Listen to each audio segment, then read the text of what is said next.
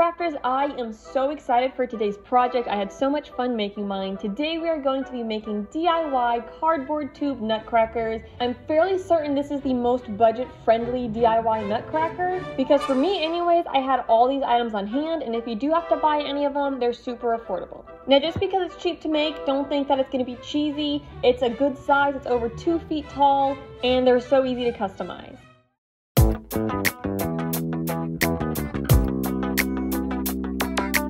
So let's talk materials. First, you will need four paper towel tubes, so the longer cardboard tubes, and then you will need 10 toilet paper tubes.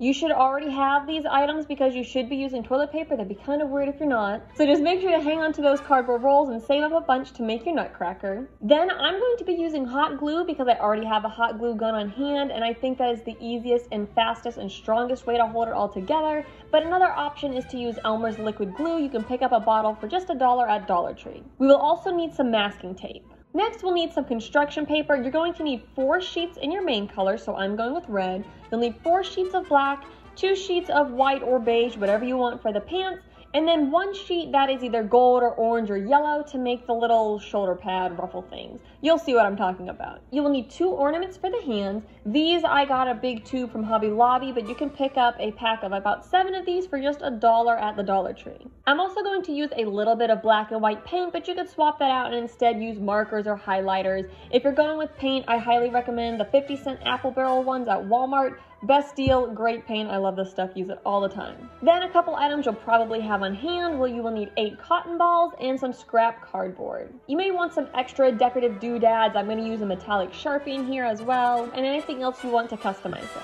To make the head of our nutcracker, you have two options. One is to do paper mache, which I like that look the best, but I'll show you an option that doesn't involve the paper mache. So if you're doing the paper mache, you will also need a balloon and some flour and paper scraps. If you have to buy every single item on this material list, the total cost will be $10.50 if you get everything from Dollar Tree and then the 50 cent paints from Walmart. But odds are a lot of these items like the flour and cotton balls you'll already have on hand. In my case, I had everything on hand. But if you don't have stuff on hand and you need to buy materials, a lot of times for just a dollar, the materials will be enough for several nutcrackers. Now that that's out of the way, let's get to DIYing. We're going to start this DIY by taking nine of our toilet paper tubes and cutting them open. So I'm just slicing them long ways, and we're gonna turn these into the body and the hat of our nutcracker. Once I've cut them open, I'm going to go along the whole length of it and fold it backwards. So right now it's rolled into a tube and we're kind of rolling it in the opposite direction. This makes it a little flatter so it's not such a tight curve, but it'll still be able to curve just a little bit. And I'm gonna repeat this process with all nine of my toilet paper tubes. Then I'm going to divide my tubes into three groups. The first two groups of three are going to make the body and the other three are going to make the hat. Now the white tubes actually ended up being a little bit different in size, so try to use tubes that are all the same size. Now we're going to join these to make one large cylinder. I'm going to get a piece of masking tape and just line up the ends, overlapping them just a little bit and then taping them. And I like to make my tape pieces pretty long so I can get the tape to wrap around both sides and hold it in place really securely. Once I've connected my first two, I will connect my third one in the same manner, and then I will connect the ends of my first and third one to form one giant cylinder.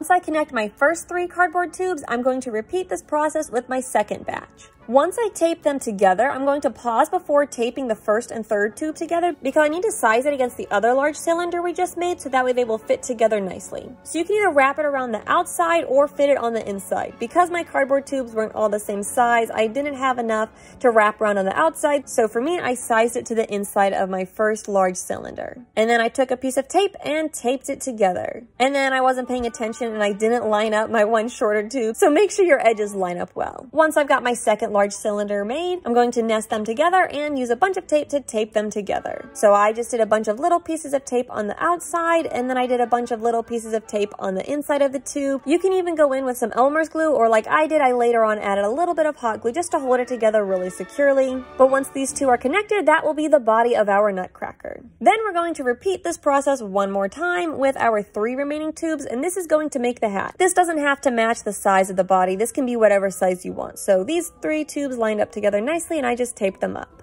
Now at this point you have to decide whether you want to do the round paper mache head or if you want to skip the paper mache step. So this is what it'll look like if we do the paper mache head. We'll have a round head. And of course, if you want to avoid paper mache, you could also find a ball at the Dollar Tree. Or another option is to make your body, your head, and your hat all connected as one giant cylinder. So you would need three more toilet paper tubes to fill it in. And it'll look a little something like this once you decorate it. That's totally an option, but personally, I like the round face better, so I'm going to do some paper mache. I'm going to overinflate a balloon and then keep letting air out so that way it ends up being a nice round shape until it's the size that I want my head to be. Then I'll tie my balloon off and get my paper mache materials ready. I've got some scrap paper here that I'm going to tear off into strips. And then for my paper mache mixture, I'm going to do a one-to-one -one ratio of flour to water. Mix that up and then dip your strips of paper into the paper mache mixture and start covering your balloon. Make sure you leave plenty of overlap between your paper strips so that way your paper mache structure is nice and strong. And then once it dries all the way, I will do a second layer of paper mache so that it is nice and sturdy. While that dries, we're going to work on the body. We need to cut out a circle from our scrap cardboard so you can either trace around your body cylinder or you can use a compass to get a nice circle. Cut out the circle and test the fit. Like me, you may need to do some more trimming. Once we get a nice fit, we're going to use masking tape to secure it to the bottom of our cylinder. Then repeat this process to make the top of the hat.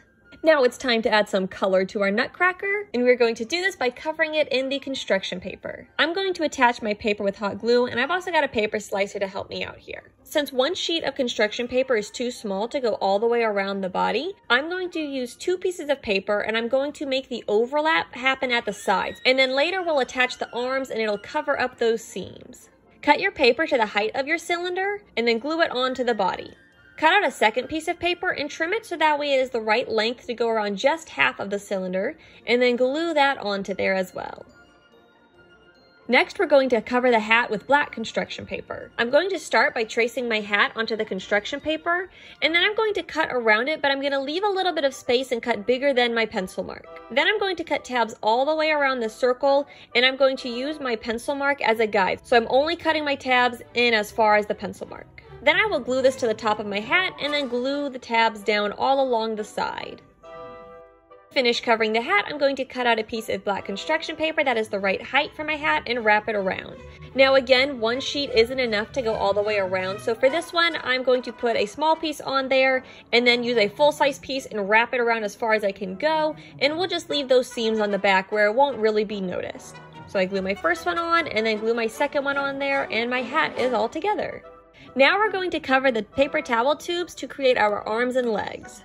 For the legs, I'm going to cover the top part with my cream colored paper. This is going to be like the pants. Just make sure you come down the same length with your construction paper on both legs so that way your pant legs aren't different heights. Then I'm going to cut out two matching pieces of black construction paper to be the ankles of the boots. Again, this is just a basic rectangle I'm cutting out that I've sized to be whatever height I wanted and it's big enough to wrap around the base of the leg. To finish the legs, we need to add some feet. Now, if you followed my material list, you will have a 10th toilet paper tube that you can cut in half for this.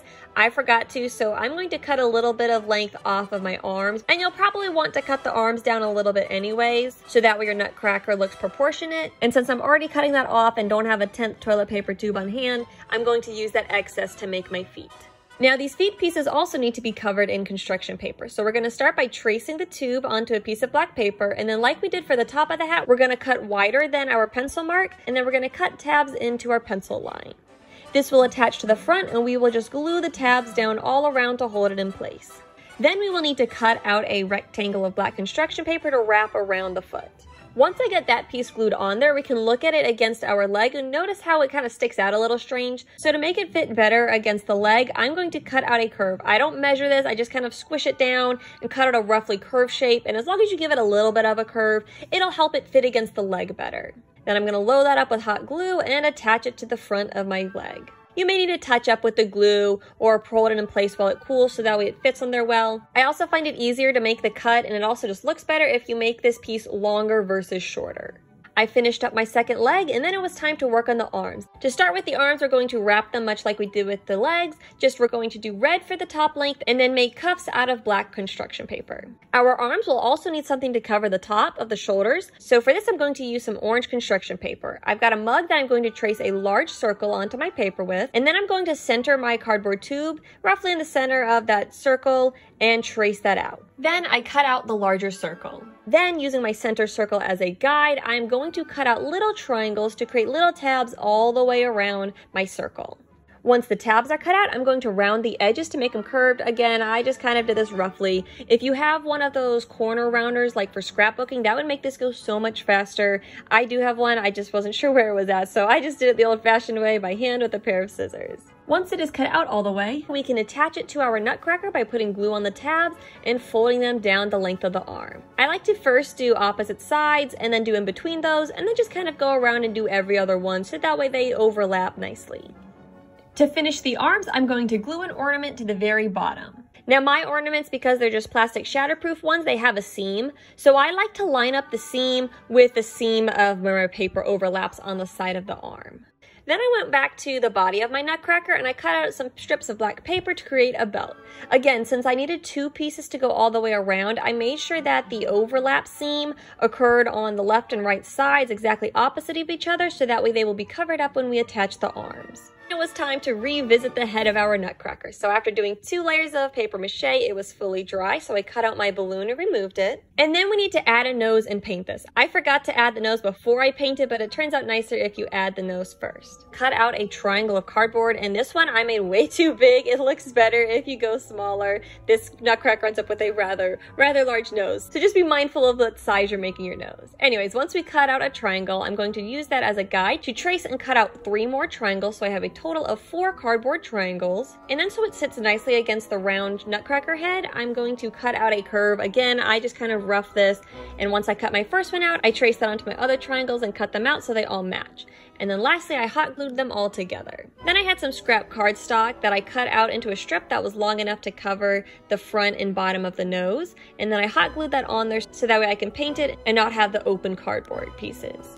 Once your nose is all assembled, glue it to the front of your nutcracker head after you've added the nose, then it is time to paint. So for painting, I just got a little bit of white paint that I added a drop of brown to. And of course you can make your nutcracker whatever shade that you want it to be just by mixing up a little bit of paint. And once it's mixed up, then I'm going to slather this all over my nutcracker's face. Once the paint has dried, it's time to put it all together. I will quickly note that I do some decorating later on that might be a little easier to do before assembling your nutcracker, but it's totally up to you whether you add more decorations on now or whether you wait until it's all assembled. Pretty straightforward. This is just a hot glue it all together and I hot glued my head on kind of crooked and I had on very crooked, so I ended up popping those off and repositioning those later on, but I just used the hot glue and of course you could use hot glue or Elmer's to assemble it together. And then once the body, head, and hat are all connected, I'm going to attach the feet. Now, very important, before you add the feet, do a balance test and make sure that everything will sit flat. I ended up needing to trim down my legs a little bit more, so that way my nutcracker would actually balance and not be about to fall over. But once the feet were attached, I then glued the arms on, and the arms, I made sure to point the seams inward so that way they were all covered by where we attached it. At this point, it looked both super cute and super creepy, so let's go ahead and add some more of those details. I took my cotton balls and I unrolled them, and this takes a little bit of practice, but just unroll your cotton balls as best you are able. And then I tore mine in half because that was the perfect length for my size nutcracker. Make sure to set one cotton ball half aside to be the beard of the nutcracker and then I just used some hot glue to attach it all the way around. Then it's time to give this nutcracker a face. I took an expo marker and this random pen I had. They had the perfect size circles to make the eyes. A good idea is to trace your objects onto some paper first to make sure you like the way they look, and then do it on your nutcracker to make sure everything's the right size. Once I've traced my large circles onto my nutcracker and I like the way they're positioned, I'm going to use some white paint to paint the eyes. I'm also going to trace out and paint the mouth. For this, you're going to trace a rectangle on the bottom of the mouth, and then another rectangle lined up directly beneath it at the top of the nutcracker body. At this point, it looked like something from a horror movie, but I promise that it ends up very cute and Christmassy and not scary. While the white paint was drying, I traced on the shape of his mustache and his eyebrows. You, of course, can cut out a little stencil template to trace so that way they match. I just freehanded it, but honestly, creating a little template for yourself so that way they match will make this so much easier because it is a little tricky to get them to look even. You do want them to look even so you don't end up with a lopsided nutcracker face. But once you get it traced on there, just use some black paint to fill it in. As an aside, as you observe my painting skills here, this is why I don't do winged eyeliner. Once my eyes were dry, I took a smaller pen and traced the circle out to be the pupils for my nutcracker's eyes, and I painted those in black and while that dried, I got out a red Sharpie to create the teeth. So I started by tracing out my rectangle shape, and then I divided the top and bottom into four equal sections, and then I just added a little curve at the tops and bottoms to create like kind of the gums of the teeth, so that way he has a nice toothy grin. I do feel like he needs a visit from Hermey the elf though. You can also add some color to the eyes using a marker or a highlighter. So I had this blue highlighter that I just carefully went around and added a little bit of color to the eyes. And then lastly, I got a little dot of white paint to add a little highlight to both of the eyes. Once the paint was completely dry, I used a soft eraser to remove any stray pencil marks. Then I took a metallic Sharpie and I added some extra detail. So I added a belt buckle, I added some little dots for cufflinks, and I added some decorations on the front of the body and on the front of the boots. With my first nutcracker, I tried to add a fleur de lis. I don't even know if I'm saying that right. Anyways, you know the little flower thing? I tried to add that on the front of the boots, but it ended up looking very sad. So I just turned it into circles because that was a little easier to fill in. At this point, I also hot glued my last cotton ball piece to the front to create a beard. And then I had this old tubing that's basically just trash that I saved, and I hot glued that onto the top of his hat, and I used my metallic Sharpie to color that in, just to add a little extra decoration.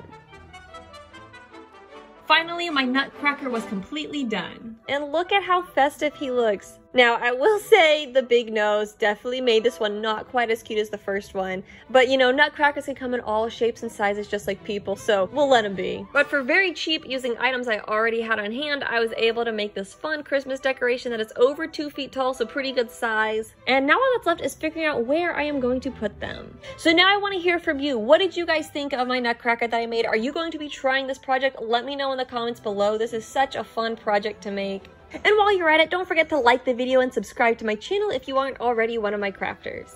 But thank you so much for watching. I hope everyone is having a Merry Christmas season, and I'll see you on my next video. Happy crafting!